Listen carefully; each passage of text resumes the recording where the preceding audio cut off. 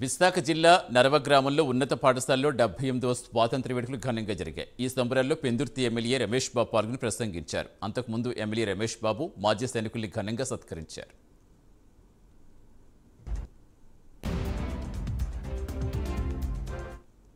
అందరికీ కూడా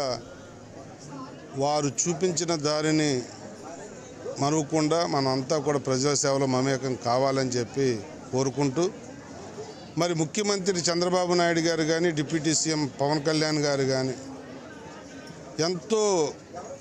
ఇబ్బందుల్లోని రాష్ట్రాన్ని బాగు చేయడానికి వారు పడుతున్న కష్టం. విద్య పట్ల వైద్యం పట్ల ఉద్యోగ ఉపాధి పట్ల వారు ఇస్తున్న భరోసాకి వారికి ధన్యవాదాలు తెలియజేస్తూ నరేంద్ర మోడీ గారి నాయకత్వంలో దేశం చంద్రబాబు నాయుడు గారి నాయకత్వంలో రాష్ట్రం ముందుకు పరిగెడుతున్న విధానాన్ని మనందరం కూడా ఆస్వాదించాలని చెప్పి కోరుకుంటూ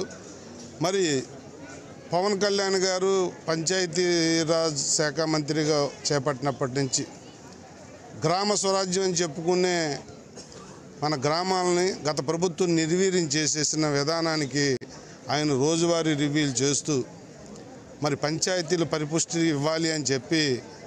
గౌరవ వేతనం కూడా ఇవ్వకుండా ప్రజాప్రతినిధులను పంచాయతీలను నిర్వీర్యం చేసిన దానికి వారి జీతాలు పెంచి సర్పంచులు ఎంపీటీసీలు జడ్పీటీసీలు వారి జీతాలు పెంచి గ్రామాలకు కావలసిన అన్ని వసతులు కలుగజేస్తున్నందుకు మనస్ఫూర్తిగా వారికి ధన్యవాదాలు తెలియజేస్తూ వారి సంకల్పం డిప్యూటీ సీఎంగా సీఎంగా చంద్రబాబు నాయుడు గారి అనుభవం ఈ రాష్ట్రాన్ని ఎంతో ముందుకు తీసుకెళ్తుందని సంపూర్ణంగా నమ్ముతూ ఈ డెబ్బై ఎనిమిదవ స్వతంత్ర దినోత్సవ శుభాకాంక్షలు తెలియ